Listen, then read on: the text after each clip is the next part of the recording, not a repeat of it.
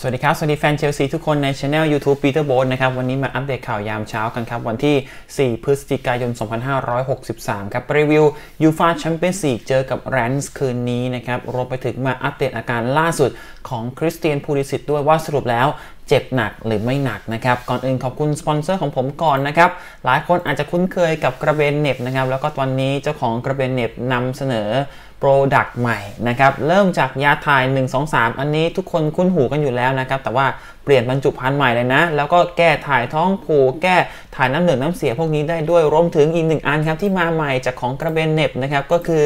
ยาธาตุจอมทองนะครับ แก้กดไหลย้อนขับลมในกระเพาะอาหารไม่ย่อยจุกเสียดแน่น สามารถสั่งซื้อได้ทางเบอร์โทรศัพท์ด้านหน้านี้นะครับหรือว่าทาง Facebook Fanpage ได้เช่นกัน เป็นเจ้าของเดียวกันหมดเลยนะครับกับทางกระเบนเน็บนะครับ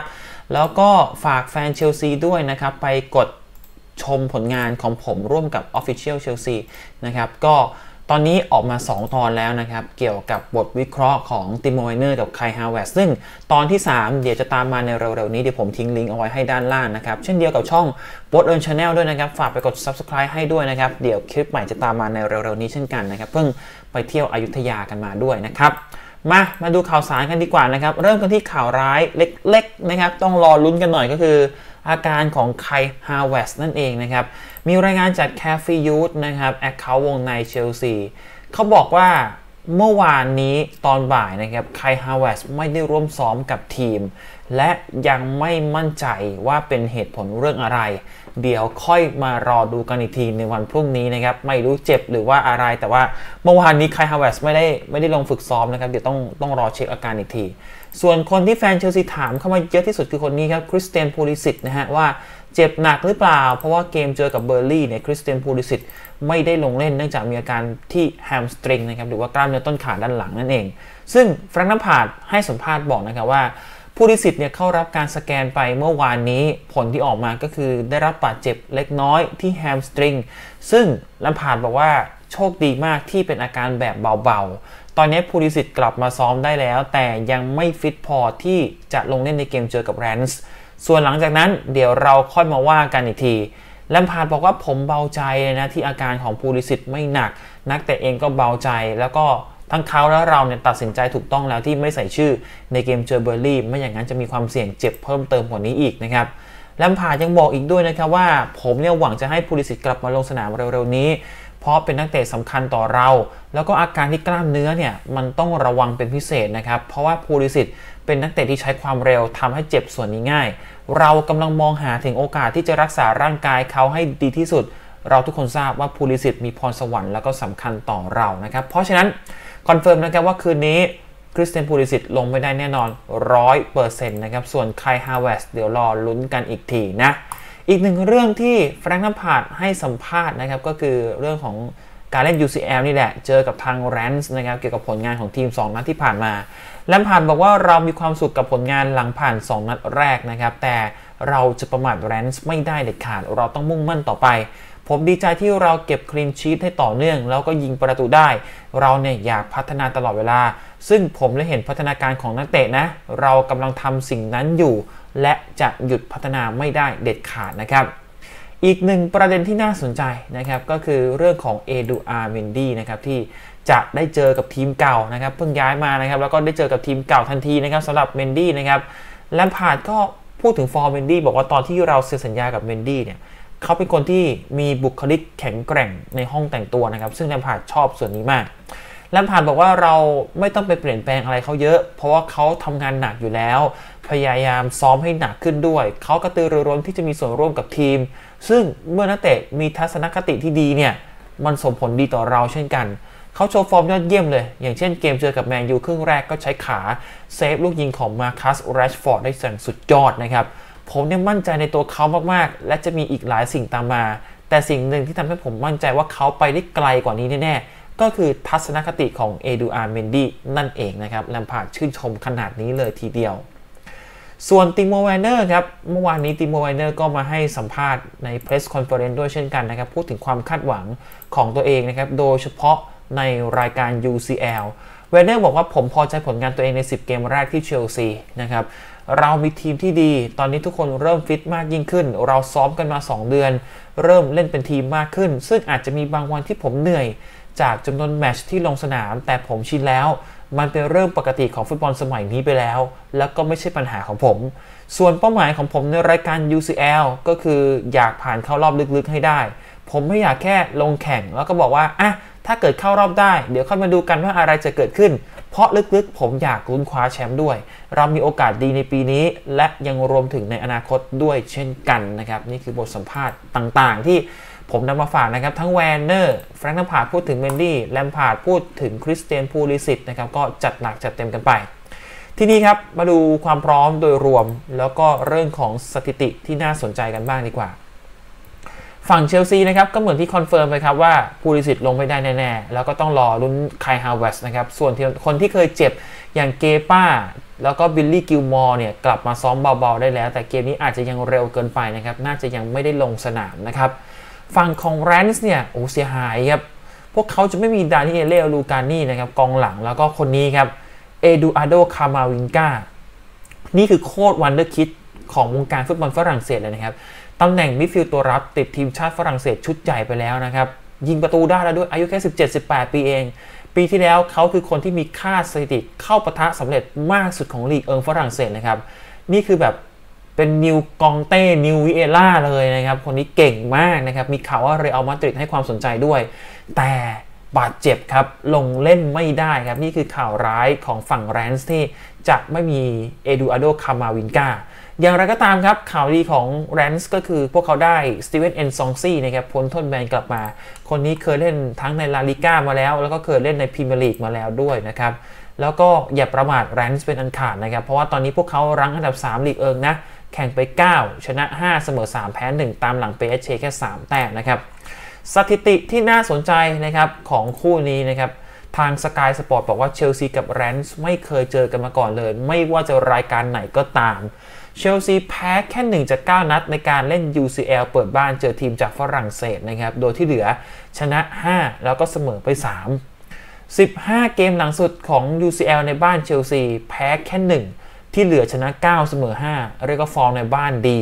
แล้วก็เชลซียังไม่เสียประตูใน UCL ฤดูกาลนี้นะครับ 2 นัดติดแล้วหนล่าสุดที่ทำแบบนี้ได้คือยุคของคาร์โล อันเชลอตติเลยนะครับ วันนี้ไม่มีฟันธงจากกูรูมาฝากครับ เพราะส่วนใหญ่กูรูเขาจะฟันธงแค่เฉพาะบอลพรีเมียร์ลีกนะครับ น่าเสียดาย นัดก่อน 3 กูรูฟันธงเชลซีไม่ชนะสุดท้ายถล่มเบิร์นลีย์ 3-0 เลยนะครับ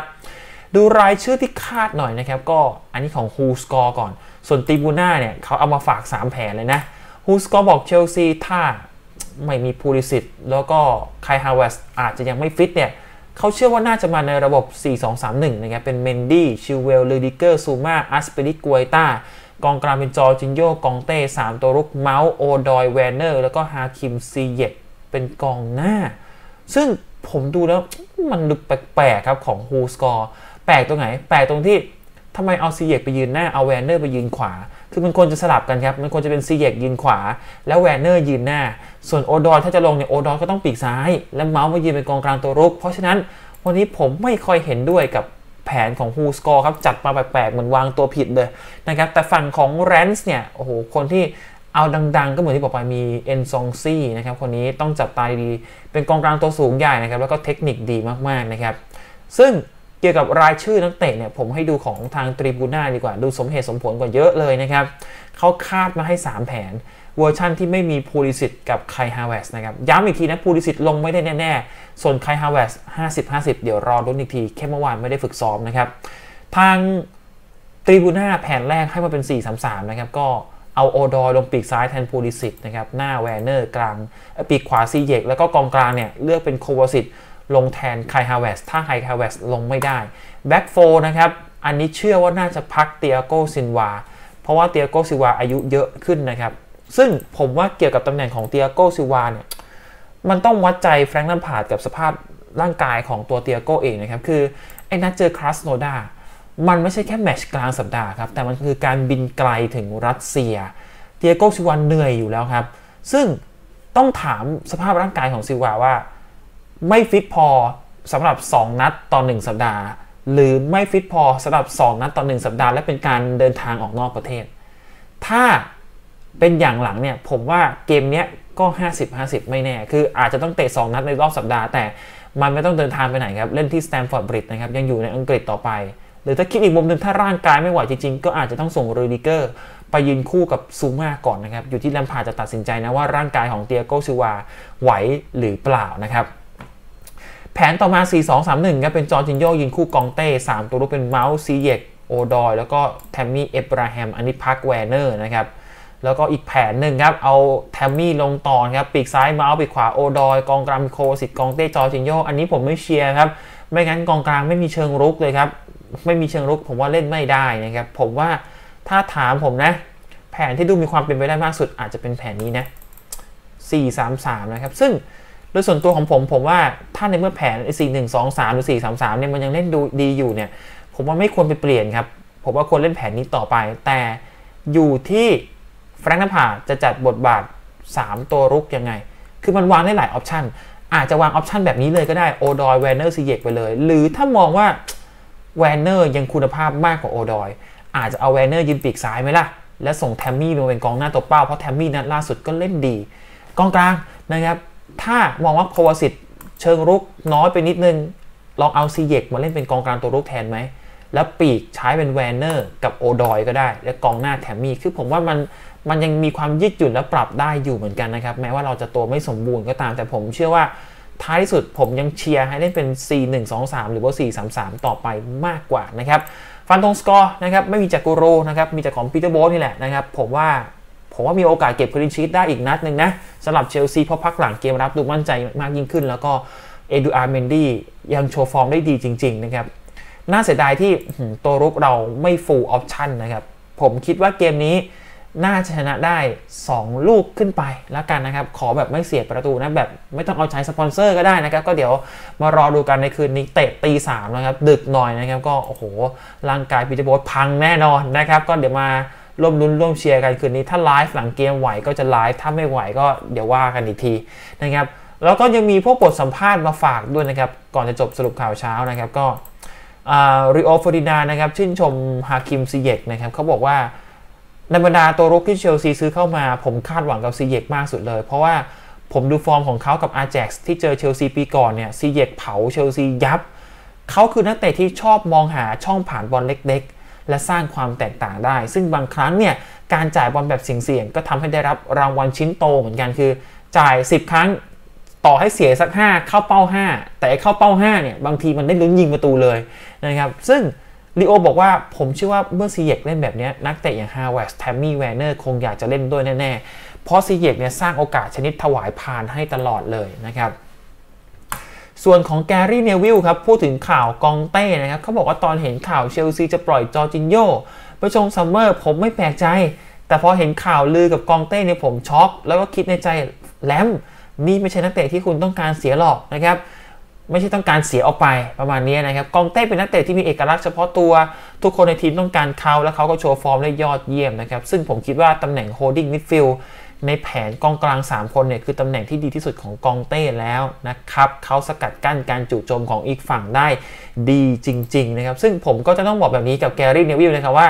ข่าวกองเต้จะย้ายทีมแล้วพวกนี้ข่าวลือหมดเลยครับมันก็เป็นข่าวที่ไม่มีมาจากสื่อดังสักข่าว แม้กระทั่งสกายที่แกรี่เนวิลทำงานเป็นกูรูอยู่สกายสปอร์ตก็ไม่เคยรายงาน เพราะฉะนั้น แลมพาร์ดไม่เคยมีความคิดจะปล่อยเอ็นโกโลกองเต้อยู่แล้วนะครับก่อนจะไปฝากผลงานของผมกับ Official Chelsea แล้วก็ช่องบอสเอิร์นชาแนลด้วยนะครับรวมไปถึงผลิตภัณฑ์จากทางห้างขายยาจอมทองนะครับก็มียาถ่าย 1 2 3นะครับแก้ถ่ายท้องผูก ถ่ายน้ำเหลืองน้ำเสียนะครับรวมไปถึงอันนี้ครับผลิตภัณฑ์ใหม่นะครับก็สมุนไพรธรรมชาติยาธาตุจอมทอง แก้กดไหลย้อน ขับลมในกระเพาะอาหารไม่ย่อย ผมนี่เคยเป็นกดไหลย้อนด้วยนะครับ เดี๋ยวลองสั่งซื้อมาลองทานดูนะครับแล้วก็ สั่งซื้อได้ตามเบอร์โทรศัพท์นี้หรือว่าทาง Facebook แฟนเพจที่ขึ้นอยู่บนหน้าจอนี้ได้เลยนะครับ ช่วงนี้ผมปีเตอร์โบสนะครับ ต้องขอตัวลาไปก่อนนะครับ เจอกันได้ในค่ำคืนนี้ครับ สวัสดีครับ ขอให้ชนะนะ บ๊ายบาย